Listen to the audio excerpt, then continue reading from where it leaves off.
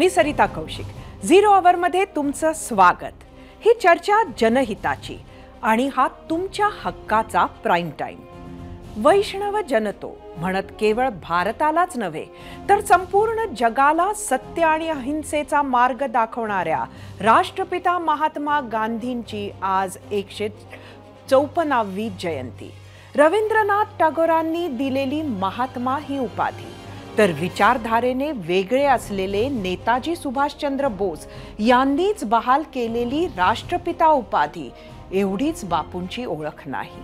तर त्यांचे आचार विचार मानवतावादी तत्व यासाठी संपूर्ण जग बापूंना ओळखतो. सत्य अहिंसा प्रेम ही गांधीजींची जीवननिष्ठा होती. महात्मा गांधींचा सर्वसामान्यांचा शक्तीवर विश्वास होता.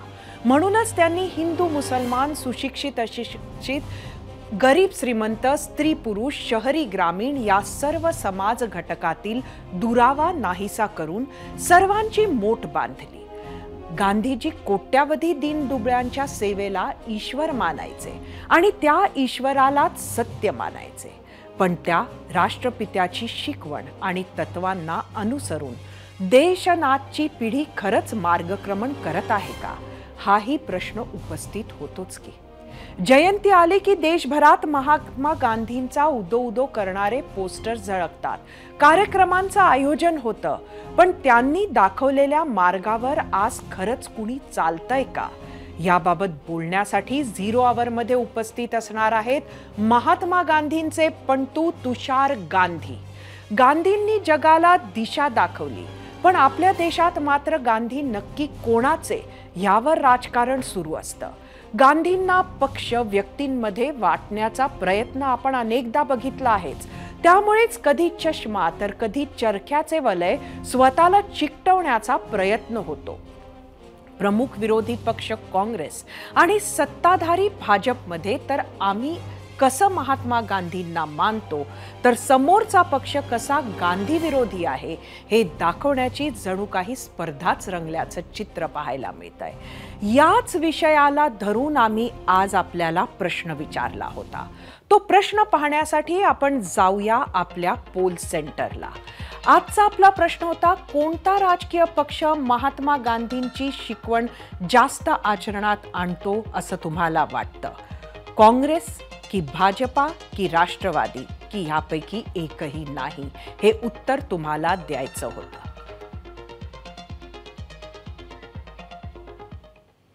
आज इंडिया आघाडीने मुंबईत मी पण गांधी या नावाने पदयात्रा काढली. भारतीय जनता पार्टीच्या धोरणांविरोधात या पदयात्रेचं आयोजन करण्यात आलं होतं. फॅशन स्ट्रीट जवळील महात्मा गांधींच्या पुतळ्याजवळ पोहोचण्याचा इंडिया आघाडीच्या कार्यकर्त्यांचा प्रयत्न होता. मात्र परवानगी नसतानाही काढलेल्या या पदयात्रेला पोलिसांनी अटकाव केला. यावेळी पोलीस आणि इंडिया आघाडीतल्या कार्यकर्त्यांमध्ये बाचाबाची देखील झाली. त्यानंतर काँग्रेस समाजवादी पार्टी आम आदमी पार्टी आणि कम्युनिस्ट पार्टीच्या कार्यकर्त्यांची आणि नेत्यांची पोलिसांकडून धरपकड करण्यात आली. राजकारण आणि गांधी हे आपल्या देशात वेगळे होऊ शकत नाही हे आपल्याला माहिती आहे. पण भारतातील दुर्गम भागात राहणाऱ्या आदिवासींपासून ते साता समुद्रापार राहणाऱ्या शास्त्रज्ञांपर्यंत गांधीजींच्या विचारांनी अनेकांना दिशा दिली प्रेरणा दिली. मार्टिन ल्युथर किंग एकदा म्हणाले होते यशू ख्रिस्ताने आम्हाला ध्येय गोल दिले आणि महात्मा गांधींनी युक्ती टॅक्टिक्स काय होता गांधी विचाराचा प्रभाव? त्यावर झिरो आवरचा हा स्पेशल रिपोर्ट पाहूयात.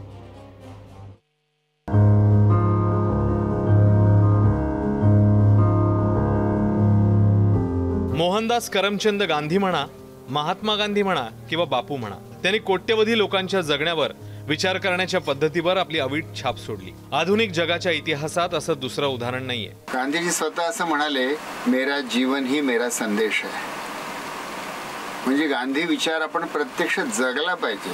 नुसतं तोंड देखलं बोलून उपयोग नाही. गांधी विचार जगणं म्हणजे स्वतःच्या व्यक्तिगत आचरणामध्ये काही मूल्य जगणं दुसऱ्यांसाठी सेवा आणि प्रेम यासाठी जगणं आणि अंतिमता पूर्ण पृथ्वीला वाचवण्यासाठी जगणं. असं जगणं म्हणजे गांधी विचार जगणं होय. मीडिया नाही सोशल मीडिया नाही इंटरनेट नाही त्यात ब्रिटिशांचं जुलमी सरकार. अशा काळात महात्मा गांधींनी खंडप्राय भारतातील विखुरलेल्या सर्व जातीधर्मातल्या लोकांना एकत्र केलं. त्यांना विश्वास दिला त्यांना कार्यक्रम दिला त्यांच्या ऊर्जेचा सकारात्मक वापर केला. ब्रिटिशांच्या गुलामगिरीतून देश स्वतंत्र करण्यात मोलाचा वाटा उचलला. जगप्रसिद्ध शास्त्रज्ञ अल्बर्ट आईन्स्टाईन असो किंवा मग दक्षिण आफ्रिकेचे गांधी अशी ओळख असलेले नेल्सन मंडेला. अमेरिकेतील वर्णभेद विरोधी चळवळीचा चेहरा मार्टिन लुथर किंग असोत किंवा मग अलीकडचे बराक ओबामा असोत की ॲपलचे स्टीव्ह जॉब्स. जगभरातल्या विविध क्षेत्रातल्या अनेक लोकांनी आपल्या आयुष्यावरील महात्मा गांधींच्या विचारांचा तत्वांचा जीवनशैलीचा प्रभाव मान्य केलाय. अकरा तत्व जी आहेत तीच गांधी नावाच्या युगपुरुषांनी आपल्या तत्वज्ञानामध्ये घालून दिलेली आहेत. ती अकरा तत्व ही आहेत. अहिंसा सत्य अस्तेय ब्रह्मचर्य असंग्रह शरीरश्रम आस्वाद सर्वत्र भयवर्जना सर्वधर्मी समानत्व स्वदेशी स्पर्श भावना ही एकादश सेवावी. नम्रत्वे व्रतनिश्चय या अकरा तर तत्वात संपूर्ण मानवजातीच्या संपूर्ण जीवनाचा आढावा घेतलेला आहे. गांधीजींच्या मते सर्व नैतिक मूल्यांचा पाया म्हणजे ईश्वरावरील श्रद्धा. गांधीजींनी साऱ्या जगाला सत्य आणि अहिंसेची शिकवण दिली. सर्वोदय स्वदेशी स्वच्छता सत्याग्रह या शब्दांना त्यांनी वेगळा अर्थ दिला. पण गांधी या पलीकडेही होते. पृथ्वीवर गरजेपुरती भरपूर पण हव्यासासाठी अपुरी असा पर्यावरणवाद देणारे गांधी किंवा मग प्रत्येक हाताला रोजगार मिळावा यासाठी ग्रामस्वराज्याची त्यांची संकल्पना. शिक्षणाशी आत्म्याचा संबंध जोडणारे नई तालीमची व्यवस्था घडवणारे गांधी किंवा मग सेवाग्राम आश्रमात आपल्या बायकोच्या हिशोबात एक रुपयाही कमी सापडल्यावर परखड होणारे गांधी. गांधींचं हे प्रत्येक रूप ही प्रेरणाच.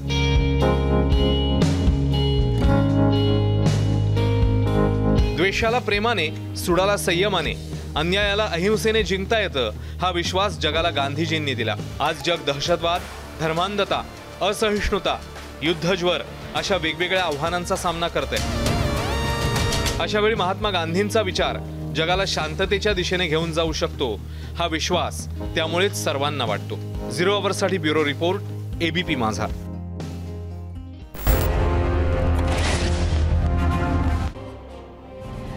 गांधीजींच्या राजकीय तंत्राचा भाग म्हणून सत्याग्रहाकडे आज संपूर्ण जग पाहते.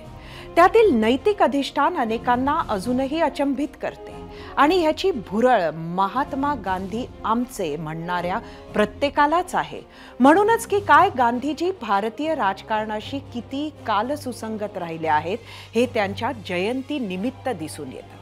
आज पंतप्रधान नरेंद्र मोदींनी राजघाटावर जाऊन त्यांना श्रद्धांजली वाहिली आणि त्यांच्या विचारांना उजाळा दिला. यावेळी लोकसभा अध्यक्ष ओम बिर्ला दिल्लीचे उपराज्यपाल व्ही के सक्सेना आणि काँग्रेसचे अध्यक्ष मल्लिकार्जुन खरगे देखील उपस्थित होते.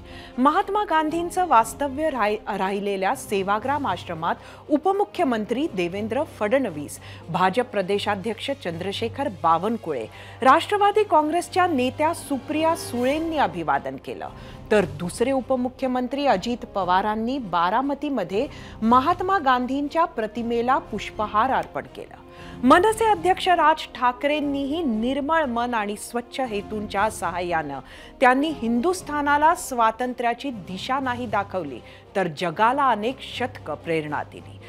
आज देखील त्यांचं अनुकरण करावं असं जगातील लाखो करोडो लोकांना वाटतं. अशा शब्दात सोशल मीडियावर पोस्ट करत बापूंना अभिवादन केलं. याबाबतच आम्ही विचारलेल्या प्रश्नावर तुम्ही काय प्रतिक्रिया दिल्या आहेत त्या पाहण्यासाठी जाऊयात आपल्या मीडिया सेंटरवर आजचा आपला प्रश्न होता कोणता राजकीय पक्ष महात्मा गांधींची शिकवण जास्त आचरणात आणतो असं तुम्हाला वाटतं? विनोद मोरे एक्स वरून प्रतिक्रिया. महात्मा गांधी महत्त्वाचे नाहीत फक्त नोट महत्वाची आहे. मनीष बोरकर यूट्यूब स्वतःला गांधीवादी म्हणणं आणि प्रत्यक्षात गांधी स्वीकारणं खूप अवघड आहे. युट्यूबवरून समीर पाल गांधीजींच्या विचारांवर चालायला आता ती परिस्थिती राहिली नाही. युट्यूबवरून राजस अंधारीकर देश स्वतंत्र झाल्यावर गांधी म्हणाले होते की काँग्रेसचे विसर्जन करा. कुठे ऐकले त्यांनी? फेसबुकवरून अनंत बोरसे महात्मा गांधी केवळ राजकारण आणि सत्ताकारणासाठी लागतात. त्यांचे विचार कोणताही राजकीय पक्ष वा नेता आचरणात आणत नाही. फेसबुकवरून मयूर पाटील सर्व राजकीय पक्ष सोयीनुसार महात्मा गांधी वापरतात असं वाटतं. फेसबुकवरूनच महावीर कदम प्रत्येक पक्षात गांधीजींच्या विचाराचे लोक आहेत. इंस्टाग्रामवर श्रीनाथ मुळात नेताजी सुभाषचंद्र बोस यांच्या विचारसरणीची गरज आहे. इंस्टाग्रामवरून सतीश सोंदे जवळजवळ सर्वच पक्ष आपल्या स्वार्थासाठी देवांचा आणि महापुरुषांचा वापर करून घेतात आपल्या पद्धतीनं. इंस्टाग्रामवरून धनराज गायकवाड राजकीय पक्षांचा आणि राजकारणी लोकांचं महापुरुषांवर राजकारण करून आपली पोळी भाजणे हा एकच हेतू असतो. इंस्टाग्रामवरून देशमुख पक्ष कोणताही असो फक्त थोर व्यक्तींचा निवडणुकीपुरता उपयोग करतात. महात्मा गांधींच्या परिवारातील अनेकांनी समाजात स्वतःचे एक वेगळे स्थान निर्माण केले आहे. त्यातीलच एक तुषार गांधी. त्यांनी राहुल गांधी यांच्या भारत जोडो यात्रेत सहभाग घेतला. गेल्या काही काळातही त्यांची अनेक वक्तव्य ही प्रकाश झोतात राहिली आणि त्यांच्या पंजोबांच्या जयंतीच्या पार्श्वभूमीवर त्यांचे एक आर्टिकल समोर आले आहे Sabarmati Ashram. Betrayed by sentries. अशा मथळ्याच्या ह्या आर्टिकलमध्ये गांधीजींच्या साबरमती आश्रमाचे साधेपण हिरावून घेण्याचा प्रयत्न केल्याचा आरोपच त्यांनी मोदी सरकारवर केलाय. एका नव्या वादळाला त्यांनी तोंड फोडलंय असंही आपण म्हणू शकतो. आज एकंदरीत सर्वच विषयांवर बोलायला तुषार गांधी आपल्यासोबत झिरो आवरमध्ये उपस्थित आहेत. जाऊया आपल्या मीडिया सेंटरला तुषारजी आपलं स्वागत आहे एबीपी माझाच्या झिरो आवरमध्ये आज गांधी जयंती निमित्त सर्व देश गांधी जयंती साजरी करतो आहे. ह्या वेळेला आपले स्वतःचे विचार नक्की काय आहेत?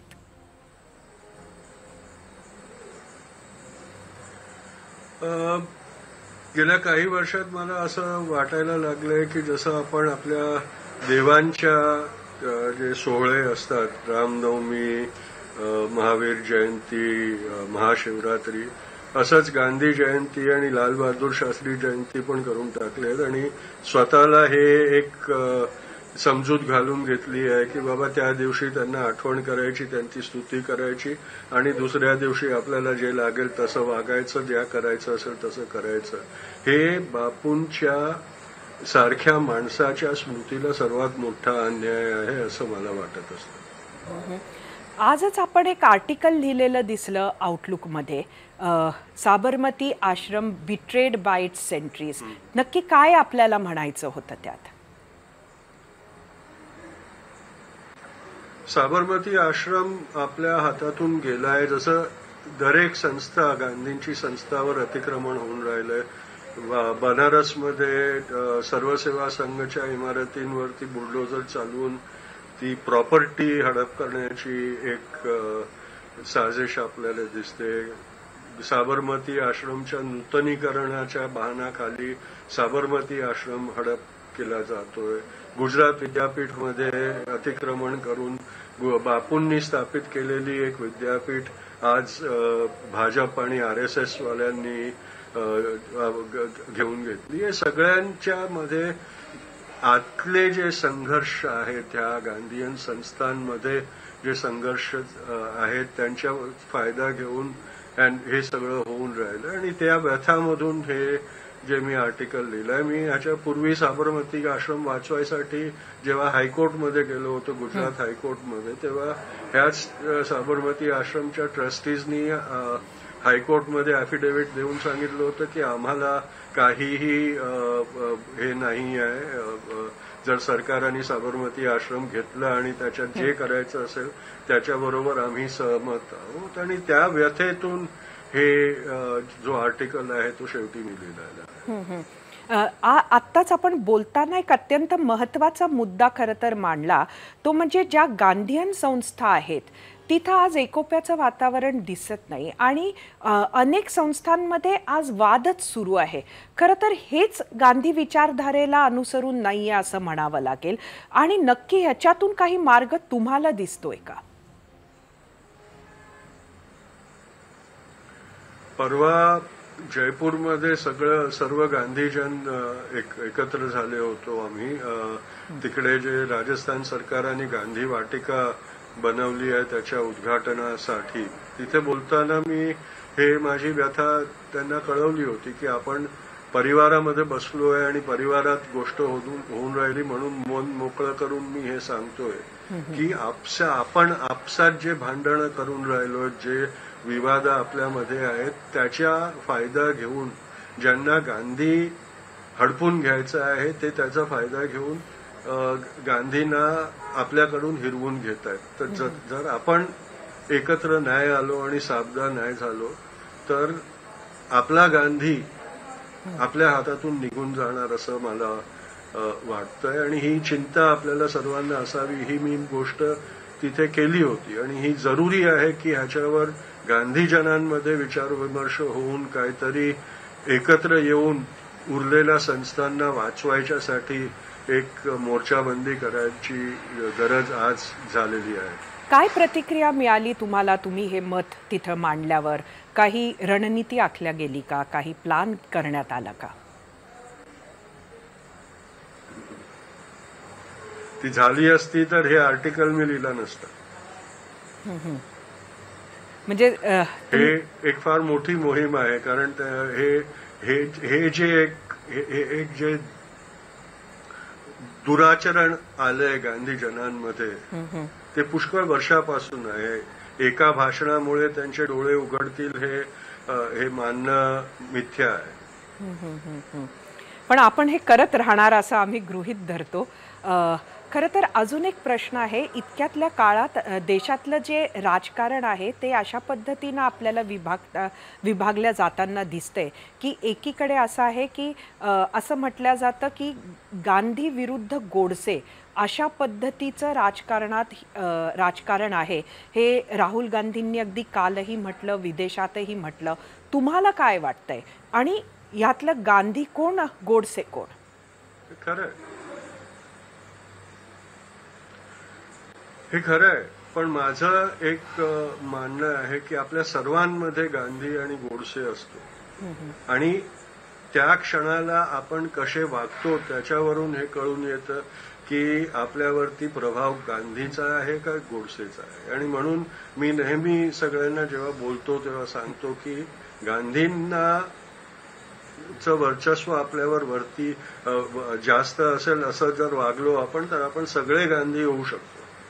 पण जर गोडसेला आपण जास्त बळशाली केलं तर आपण हत्यारे होऊ सगळे हे चिंता आपल्यामध्ये असायला पाहिजे. मला वाटतं हे एक आंतरिक द्वंद्व आहे. आणि ते आपण सगळ्यांनी त्याच्यावर जीत जितायला पाहिजे. आपल्या आजच्या या कॉन्ट्रॅडिक्शनला आपण मात द्यायला पाहिजे. खरं तर आम्ही तुम्हाला भारत जोडो यात्रेमध्ये जाताना बघितलं तर त्यानंतरचे आपले काही आर्टिकल्स बघितले. ॲक्टिव्ह राजकारणामध्ये सामील होणार का? हा प्रश्न खरं तर मला त्यामुळेच तुम्हाला विचारावा असं वाटतोय. एखादा पक्ष राजकीय पक्ष. हे बघा ऍक्टिव्ह नाही. सध्या तरी नाही सध्या तरी नाही. मी भारत जोडो यात्रामध्ये माझी बिलीफ म्हणून गेलो होतो. कारण जिथे घृणाची राजनीती घृणाची राजनीती इतक्या प्रखर पद्धतीनं आपल्या देशावर हावी होते होताना दिसतंय आणि त्याला यश भेटतंय त्याला समर्थन भेटतंय हे चिंताजनक जे एक बदलाव आपल्या जनमानसात आलाय जिथे हेट हे आपल्या सर्वांच्या प्रकृतीत दिसून राहिलंय. तेव्हा मला असं वाटलं होतं की प्रेमाचा संदेशा घेऊन निघालेल्या माणसाबरोबर आपण आपलं आपण संलग्न व्हायला पाहिजे म्हणून मी भारत जोडो यात्रामध्ये गेलो होतो. आणि आजही जर मला विचारलं गेलं की मी कोणत्या गठबंधन किंवा पक्षाच्या बरोबर उभा राहीन तर मी स्पष्टपणे हे सांगू शकतो की घृणाच्या विरुद्ध प्रेमाचा संदेश घेऊन निघालेल्या पक्षाबरोबर मी उभा राहीन. पण त्याचा अर्थ हे नाही होत की मी काँग्रेसची तिकीट घेणार किंवा काँग्रेसची सदस्यता घेणार हे अर्थ नाहीये. पण माझं समर्थन प्रेमाची गोष्ट करणारा जो पक्ष असेल त्याच्याबरोबर राहणार हे स्पष्ट आहे. खरं तर तुमच्या ह्या उत्तरातच कुठेतरी मला आमच्या आजच्या प्रश्नाचं उत्तर मिळालं. मी आपल्याला सांगू इच्छिते की झिरो आवरमध्ये आम्ही रोज लोकांसाठी एक प्रश्न देत असतो एक पोल करत असतो. आणि तोच मा- माझा तुम्हाला शेवटचा प्रश्न राहील. आजचा आमचा असा प्रश्न होता की गांधींच्या विचाराशी जास्त जवळ कुठला राजकीय पक्ष वाटतो? आम्ही चार पर्याय लोकांना दिले होते. भाजपा काँग्रेस राष्ट्रवादी काँग्रेस की ह्यापैकी एकही नाही. आणि तुमचं उत्तर ऐकायला आम्हाला आवडेल. अ, जर मला वोटच करायचा असेल आणि तुमच्या दिलेल्या ऑप्शन्स मध्येच जर मला वोट करायचा असेल तर शेवटचं ऑप्शन मी घेईन की अपेक्षित एका पैकी कोणी नाही. पण जर मला स्वतःचा उत्तर द्यायची तुम्ही परवानगी दिली तर मी सांगेन की जे मी पूर्वी सांगितलं तेच की आता जे घृणाची राजनीती आणि घृणाच्या राजनीतीचं यशस्वी होणं जे आपल्याला दिसून राहिले त्याच्यासमोर प्रेमाचा संदेश घेऊन जो उभा राहील निडरताचा सत्याचा संदेश घेऊन जो उभा राहील त्याच्याबरोबर मला गांधी उभा राहिलेला दिसेल असं मी सांगू शकतो. त्याच्या ह्याच्या परिसरात कारण मला भाजपमध्ये फक्त घृणा दिसून राहील. कारण त्याचे वरिष्ठ नेते पण जेव्हा सोयीस्कर असतं तेव्हा घृणाची राजनीती करतात आणि इलेक्शन प्रचारमध्ये घृणाचा वापर ते लोक करतात हेटचा वापर ते लोक करतात. म्हणून त्याच्या प्रतिकार करण्यासाठी जरूरपणे मला वाटतं की मी त्यांच्या विरुद्ध तर आहेच. धन्यवाद तुषारजी. झिरो आवरमध्ये आपण जॉईन झालात आणि आपली विचार आमच्याबरोबर शेअर केलेत. परत एकदा आपले खूप खूप धन्यवाद. आपल्या नुकत्याच झालेल्या विदेश दौऱ्यात तर अगदी काल सुद्धा गांधी जयंतीच्या पूर्वसंध्येला राहुल गांधींनी आताच्या राजकीय लढ्याला एका बाजूला गांधी तर दुसऱ्या बाजूला आर एस एस गोडसे असं म्हणत भाजपाला हिणवण्याचा प्रयत्न केलाय. नथुराम गोडसेवरून राष्ट्रीय स्वयंसेवक संघाला निशाण्यावर घेणाऱ्या राहुल गांधींना याबाबत कोर्टातही याआधी खुलासा करावा लागला आहे. एकीकडे संघाला गांधींच्या हत्येशी जोडले नाही असे त्यावेळी कोर्टात राहुल गांधींनी सांगितले होते. पण तरीही भारतीय राजकारणाच्या पटलावर गांधींचा विचार आमचा आणि गोडसेंचा विचार तुमचा ही रणनीती मात्र आजही दिसते. यावरच आधारित होता आजचा आमचा प्रश्न. बघूया काय कौल दिलाय तुम्ही. आजचा आपला झिरो आवर मधला पहिला प्रश्न होता कोणता राजकीय पक्ष महात्मा गांधींची शिकवण जास्त आचरणात आणतो असं तुम्हाला वाटतं? युट्यूबवर एकूण सत्तर हजार मतं त्र्याहत्तर टक्के म्हणचं म्हणणं आहे काँग्रेस. पंधरा टक्क्यांना वाटतंय एकही नाही तर नऊ टक्क्यांना वाटतंय भाजप तीन टक्क्यांना राष्ट्रवादी. इंस्टाग्रामवर एकूण नऊ हजार मतं. एकूण पन्नास टक्के लोकांचं म्हणणं आहे काँग्रेस एकोणीस टक्के लोकांचं म्हणणं आहे भाजप आठ टक्के लोकांचं म्हणणं आहे राष्ट्रवादी. एकही पक्ष गांधींची शिकवण आचरणात आणत नाही म्हणणारे आहेत चोवीस टक्के. महात्मा गांधींच्या नावाचा जीवनाचा आपापल्या राजकारणासाठी सोयीस्कर वापर ही आपल्या डोळ्या देखत होतो आहे आणि तो होत राहणार असं सध्या तरी दिसतंय. भारताच्या राजकारणात महात्मा गांधींचं महत्त्व किती आहे हेच खरं तर त्यानं अधोरेखित होतं. म्हणायला गांधी विचारधारेचे लोक मात्र त्यांच्या संस्थांमध्ये आपली हुकूमत गाजवण्यासाठी आपापसात भांडताना सध्या दिसतात. असो हे सगळं होत राहणार. पण गांधीजींसारखा हाडामासाचा माणूस या पृथ्वीवर होऊन गेला यावर पुढच्या पिढ्यांचा विश्वास बसणार नाही. अल्बर्ट आईन्स्टाईननं याचं वक्तव्य किती खरं ठरतंय ते आपण पाहतोय. कमरेला फक्त धोतर बांधलेला पंचाही अंगावर न ठेवणारा साधारण शरीर यष्टीचा माणूस एवढ्या मोठ्या साम्राज्याच्या विरुद्ध कसा लढला याचं अनेकांना आश्चर्य वाटायचं. याचं कोडं आजही सुटत नाही. गांधी ही व्यक्ती नाही विचार आहे असं अनेक जण म्हणतात ते पटतं. गांधीजींनी भुकेल्या अर्धनग्न जनतेला आपल्या क्षमतेची शक्तीची जाणीव करून दिली. त्यात सर्वसामान्य जनतेनं करो या मरो ही घोषणा प्रत्यक्षात आणली. लाठ्या काठ्या झेलत प्रसंगी प्राणाची आहुती देत ब्रिटिशांना हकलून लावण्याचं असामान्य काम करून दाखवलं. या प्रवासात मोहनदास करमचंद गांधी या सर्वसामान्य वकिलाचा जनसामान्यांचा बापू महात्मा गांधी असा असामान्य बदल झालेला आपल्याला बघायला मिळाला. या प्रवासातच दीड शतक जगाला स्फूर्ती देणारा प्रेरणा देणारा सत्य आणि अहिंसेचा सर्वोदयाचा सत्याग्रहाचा विचार मिळाला. त्या विचाराने विविध देशात समाजात क्रांतीची बीज रोवलेली पाहायला मिळाली. तो विचार जोवर जिवंत आहे तोवर पुढच्या पिढ्यांचं भविष्य जगाचं भविष्य सुरक्षित आहे असं आपण म्हणू शकतो. आज फक्त महात्मा गांधींचीच नाही तर जय जवान जय किसानचा नारा देणाऱ्या माजी पंतप्रधान भारतरत्न लाल बहादूर शास्त्री यांची देखील जयंती आहे. जवाहरलाल नेहरूंच्या निधनानंतर देशाचे दुसरे पंतप्रधान झालेल्या लाल बहादूर शास्त्रींची हरित क्रांतीचे जनक अशी ही ओळख आहे. महात्मा गांधी आणि लाल बहादूर शास्त्री यांचं योगदान आठवत त्यांच्या प्रती आणि देशाच्या स्वातंत्र्यासाठी योगदान देणाऱ्या प्रत्येकासाठी झिरो आवरमध्ये कृतज्ञता व्यक्त करूयात. एबीपी माझा. उघडा डोळे बघा नीट.